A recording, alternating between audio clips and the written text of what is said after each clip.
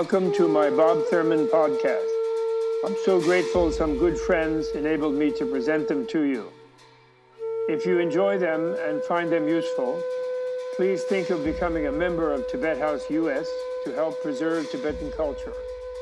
Tibet House is the Dalai Lama's cultural center in America. All best wishes. Have a great day.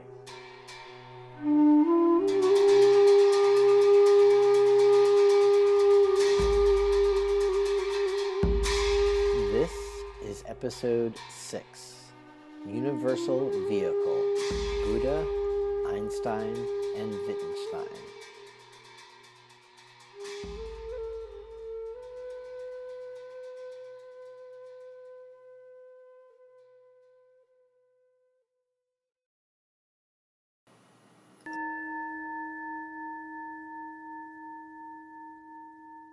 Science is stuck now. You know, Western science is stuck. It thinks it's the only science, which it definitely isn't.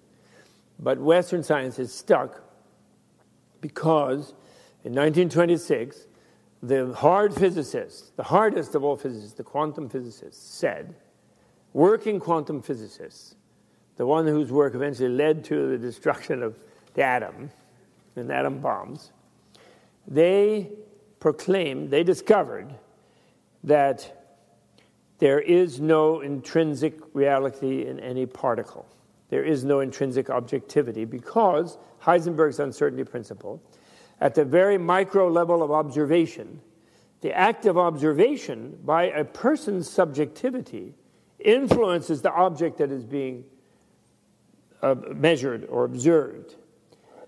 So there's no absolute objectivity because the subjectivity is interacting with it.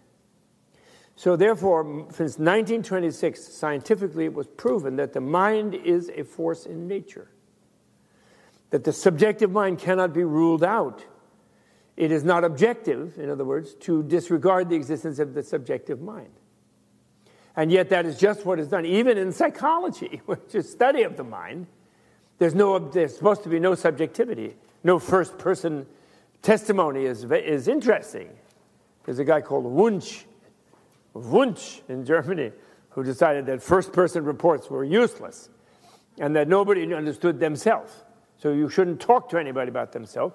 You have to somehow reduce their mental activities to something you can measure, and everybody else will see it the same way because it's just an objective, and there's no subjective bias involved in seeing it. So that's the whole thing, even psychology and every science is stuck because they want pure objectivity and they are not existing.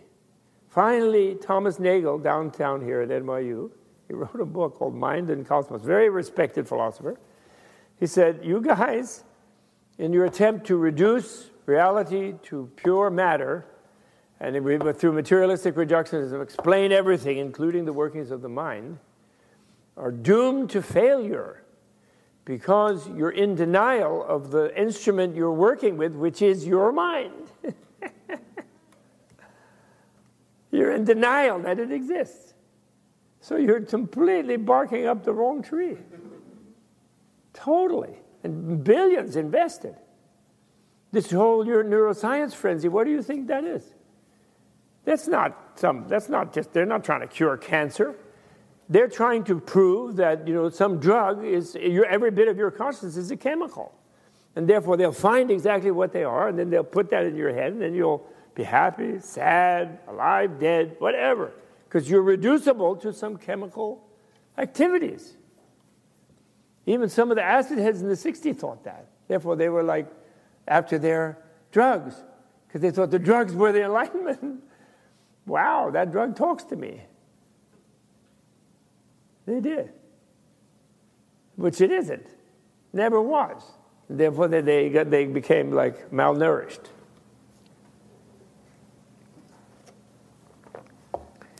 So the mind is part of it. So, in the epistemological level, there's no intrinsic objectivity.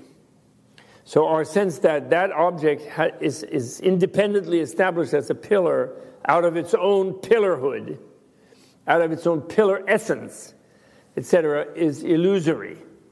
Our sense of its massive facticity is illusory. It's an illusion. Okay?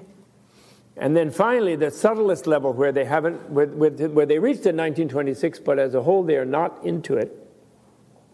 They're stuck, even the psychologists.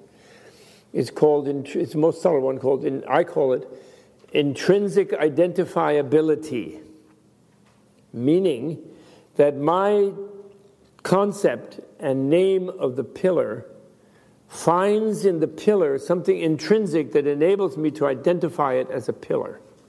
It has identifiability, so it's language, mind interacts with things through language, concepts.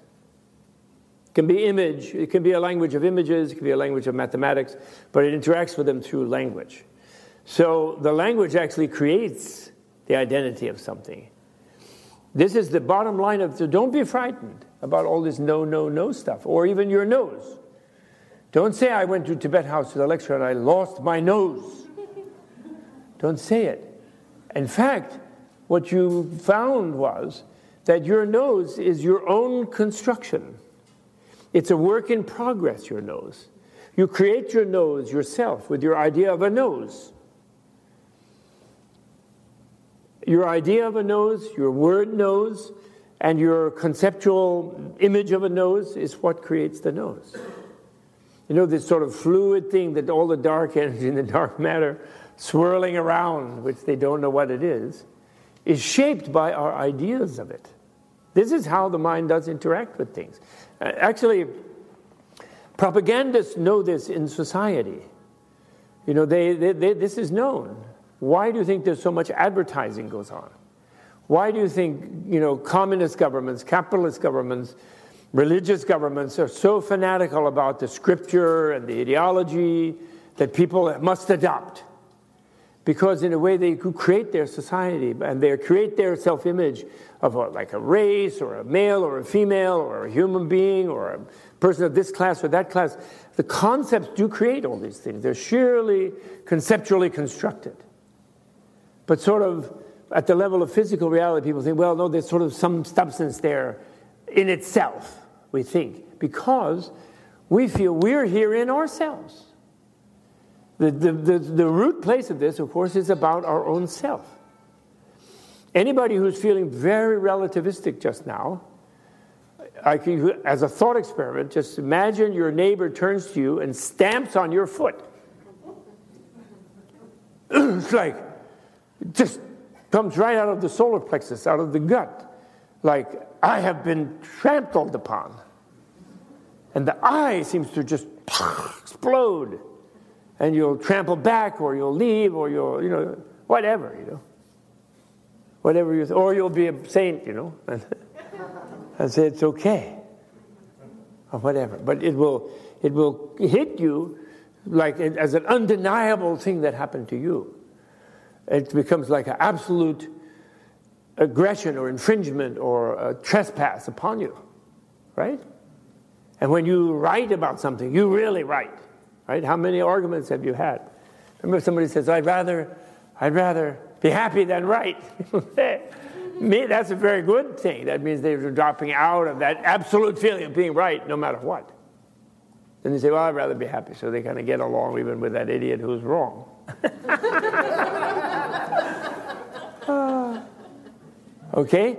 So the bottom line in the matter is voidness and voidness is matter, one of the bottom lines is, is that since matter is void of itself as an intrinsically real, objective, or identifiable thing, it's only relational and therefore completely shapeable.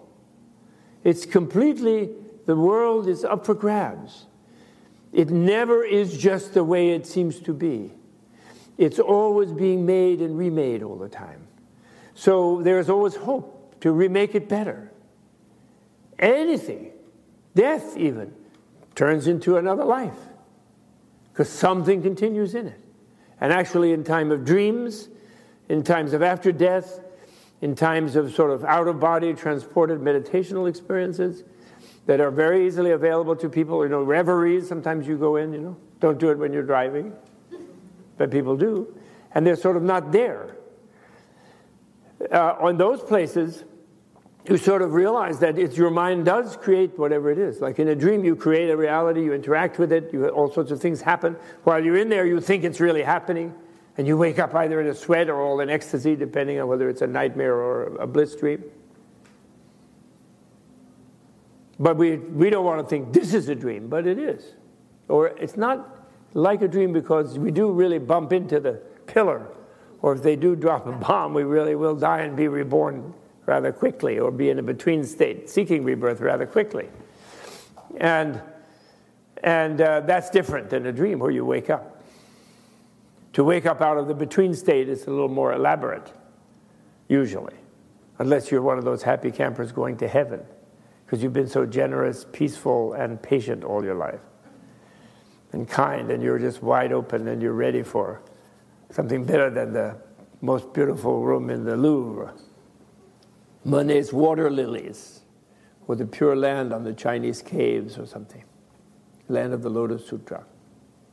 So you're open for just embracing something beyond your imagination, so beautiful and brilliant. Otherwise, something really beautiful and brilliant might frighten someone who's very uptight. You know, they don't want to let go of themselves. So the bottom line is don't be afraid of emptiness or voidness. It's not nothingness. And in fact, don't be afraid of nothingness because it isn't there. and also, don't long. Now, this brings to another point. Don't long for nothingness. Transcendence, you know, the, the word for prajna paramita in Sanskrit, paramita means having gone to, a, to the other shore, having gone beyond. So it actually has to be translated as transcendence. It is translated often as perfection by people, but that's also very wrong. There is one young scholar who was commissioned to translate the 8,000 line Prajnaparamita, much longer than this Heart Sutra. And he wants to do transcendence, but there are all kind of people jumping on him who are used to perfection. And they said, no, no, you can't say that. Well, you can say transcendent perfection. but perfection is something you, you take and you finish perfectio, to fully make something. But paramita does, you don't make going beyond, you go beyond. And there is that double meaning, therefore. Wisdom, we think of a possession of a wise person. But transcendent wisdom goes beyond that person's possession. The person themselves is given to the universe in transcendent wisdom. It's a wisdom where you become the universe. You don't, it's not a wisdom where you know what it is and you have labels and it's, you got it all organized, you have a theory that knows what it is. No, that's not wisdom. Wisdom is when you become everything. That by giving, by transcending your habitual self, by expanding beyond your skin, your boundary between self and other, where you are you and it's all not you. You have to transcend that. Now, on the other hand, when you do that, now, you all know something about what I call individual vehicle Buddhism. Some people derogatorily call it lesser vehicle. I, I don't like to do that. I call it individual vehicle. An individual is less than the entire all sentient beings. Yes, it is less. But still, all sentient beings is constituted by individuals. So if you have a vehicle for the liberation of all sentient beings, you have to do individual by individual, which is why there's no real, the, the, the universal vehicle, Mahayana, has no, nothing against the monastic vehicle. And so the individual vehicle is perfect because universal needs an individual vehicle. Do you follow? But the individual vehicle was where Buddha taught people who couldn't imagine that this, here now, could be blissful and free of suffering if they only were not trapped in their intrinsic reality habit about themselves and the others. If they were free of that misperception, misknowing, wrong knowledge, like, I know I'm not you. Come on. You know you're not me. We know that. In fact, we think, I'm absolutely me, and you think you're absolutely you. And when we say absolutely, we use it kind of lightly, like you say, Do you want a little sugar in your tea? Absolutely. but actually, you couldn't put sugar in your tea absolutely because absolute means non relational, so it could never reach your tea. but we just say it as an emphasis thing. But it also fits with the way we interact with the world, where we are absolutely different from everybody else. Don't get in my space. Don't trample on my aura. Don't step on my toe. Uh, you know, don't know my boundaries. You know, this is me. You know. Mm.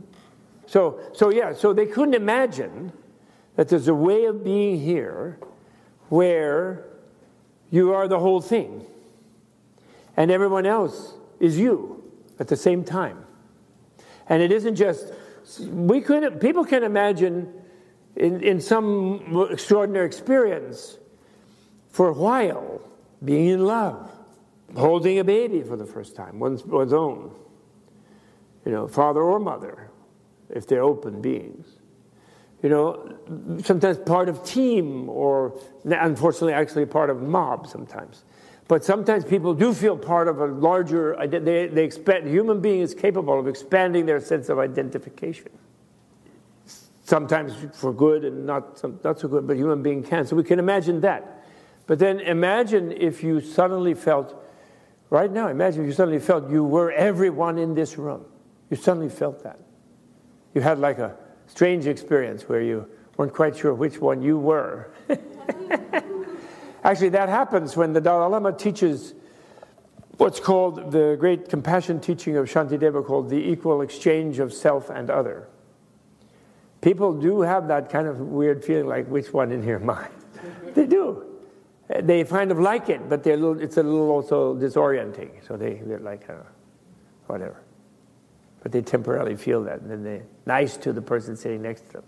If they've been, if they've been putting their elbow over on the seat, they remove it, you know, not the bug. But imagine that you were like that. So this, some kind of people can't imagine that. So then they think transcend, well, then that fits with the fact that I am having a hard time being just myself here inside my skin.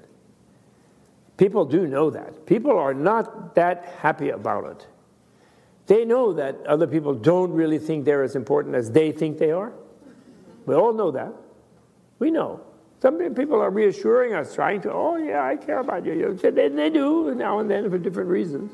But everybody knows that they're sort of on their own in a certain way.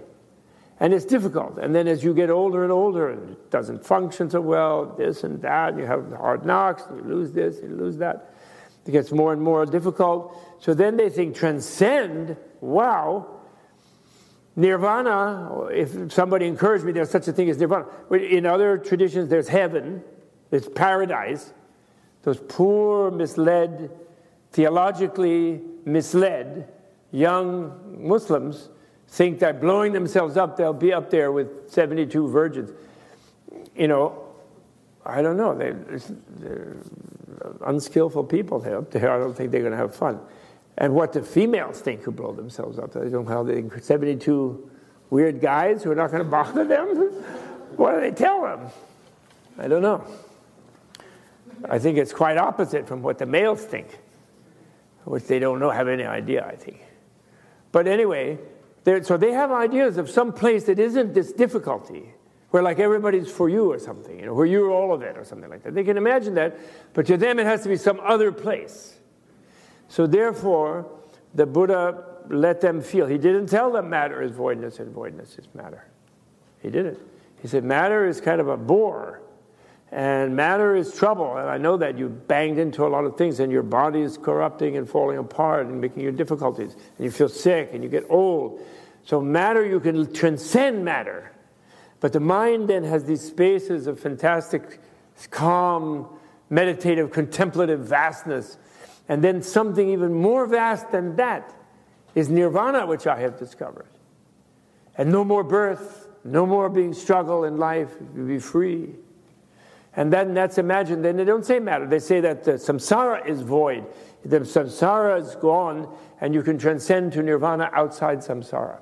And all those Burmese teachings, and Sri Lankan teachings, and Thai teachings nowadays, and the Tibetans also have that teaching, and the Chinese and everybody, even those that have the, also the other teaching, and they think it's important for some people who could not imagine that nirvana is right here and now If you really knew what the Heart Sutra is saying, no nose, no this, no that, you would be in nirvana because you would be blown away. You know, we do know it. We say it aesthetically, right? How, what happened to you at the concert? I was blown away. That meant I transcended my normal grumpy feeling and I temporarily was like out of myself. And it felt good. I felt good. Like James Brown, right? I feel good, you know. Didn't know that I would, or did he know that he would? I forget. Maybe I knew that I would. Maybe he says. so, you know, we have these little jolts of being uh, like temporarily relieved from our normal self preoccupation, self enclosure, like struggle with, therefore, the vaster world that is unconquerable by us and can't really be that fended off by us. And, you know, it's like really hard to deal with. And something blows us away, you know. So, but that there would be a way of staying in it and blown away, even though we have those little hints, we can't imagine. It's hard to imagine. So, for them and for us, if we're like that, Buddha lured us with the nirvana feeling that there's some transcendent place. And the word transcendent means it's beyond, right? But then when he came to Prajnaparamita transcendent, and actually you reach it by wisdom, he said. So that Theravada you know, Burmese, Sri Lankan, etc., those Theravada teachings and Mahasangika, there's other versions than the Theravada of the dualistic, what I call dualistic Buddhism. Meaning there are two realities kind of ultimate. There's really ultimate samsara, world of suffering, and there's an ultimate world apart from suffering, and they're apart, they're different. And you've got to go from one to the other. That's the whole plan, you know, in the Theravada. But then the Mahayana is contradicting that. Because matter is voidness. Matter right here with this matter. And the matter itself is voidness. Voidness, in a way, is nirvana, it's freedom. And the matter is that freedom. And we are all the matter, actually. When Avalokiteshvara had that realization, when Buddha entered that illumination of the profound, when Shariputra he said, no this, no that, no the other, he was no attainment and no non attainment. Notice, he said no non attainment. By that attainment, he meant people imagine attainment is a place they get that is apart from everything and apart from their old mind and being, and they're really elsewhere. And so he says, no, but then no non attainment means that we already attained it all right here and now. It's all attained. If you attain nirvana, what happens is you realize you always were there. So you're also right here. You're just right here in a different way.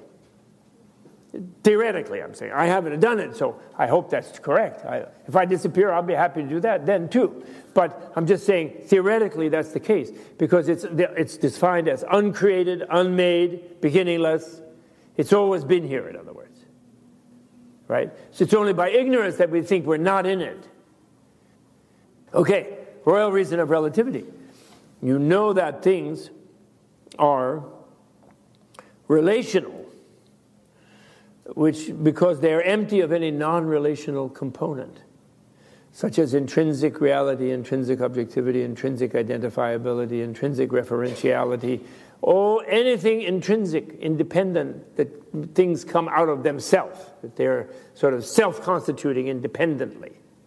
And yet they're still a thing. You follow? All things are relative, right? You know that because they're empty of any such non relative element.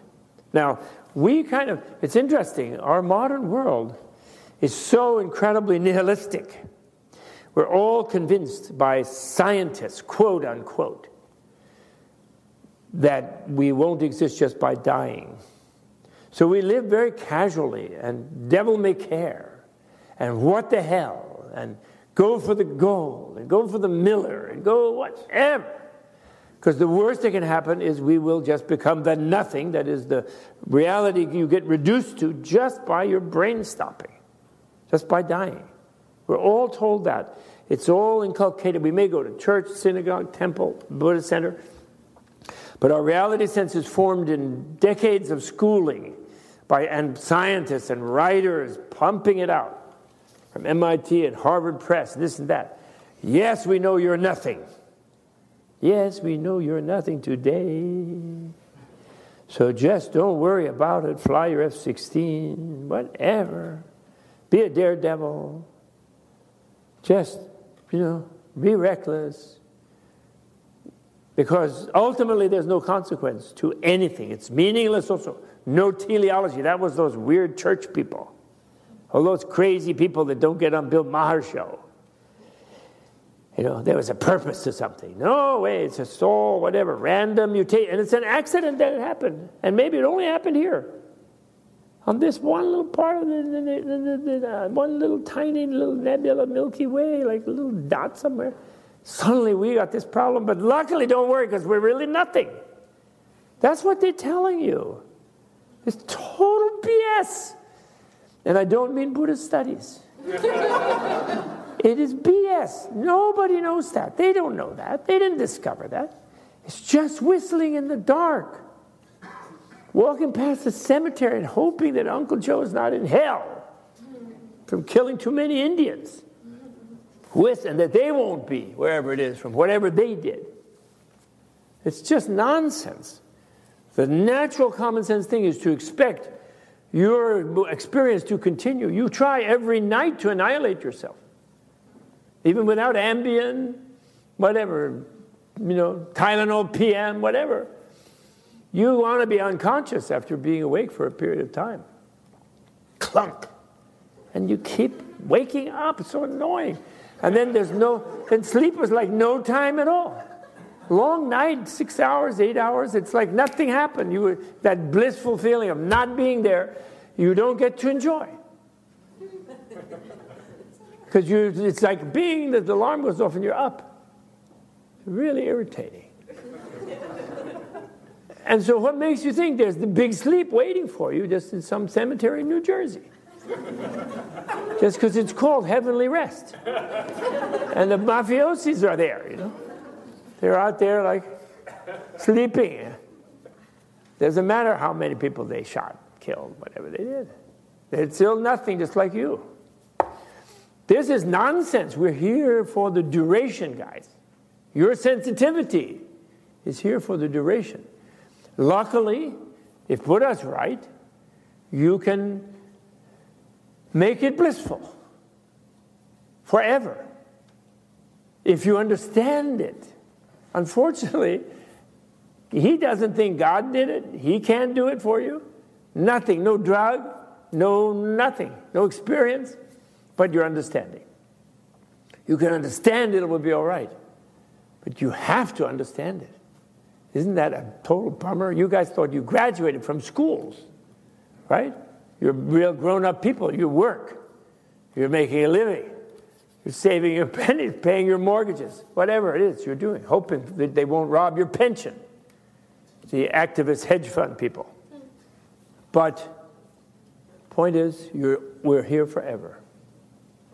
Our sensitivity is here forever. And, and even if you read the Book of the Dead, it says, oh, if you enter the clear light, then you know more rebirth. It still carries over that transcendence language. Or transcendent wisdom, it seems like, oh, that's a wisdom where I transcend that. I don't have to bother with this stuff here. But transcendent wisdom is not, is not that you went somewhere else, it's that your, your sense of your wisdom, your self centered wisdom, is transcended. So wisdom itself, as, a, as the possession of someone, is transcendent.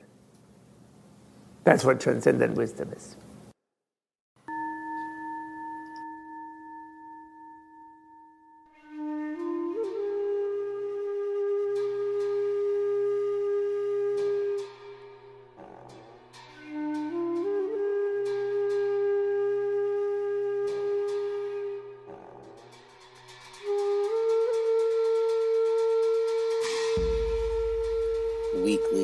Interstitial music provided by Tenzing Chogyal.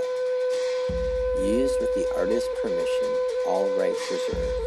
To learn more, visit tenzingchogyal.com.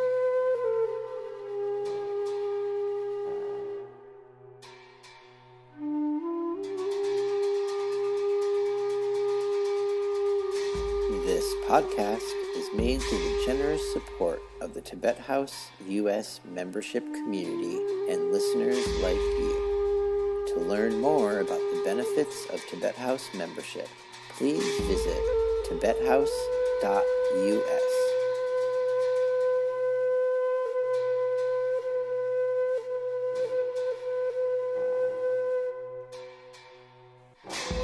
For a complete listing of all upcoming Robert Thurman events, please visit bobthurman.com.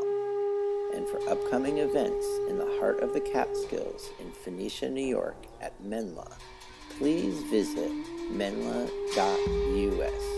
located just two hours north of New York City.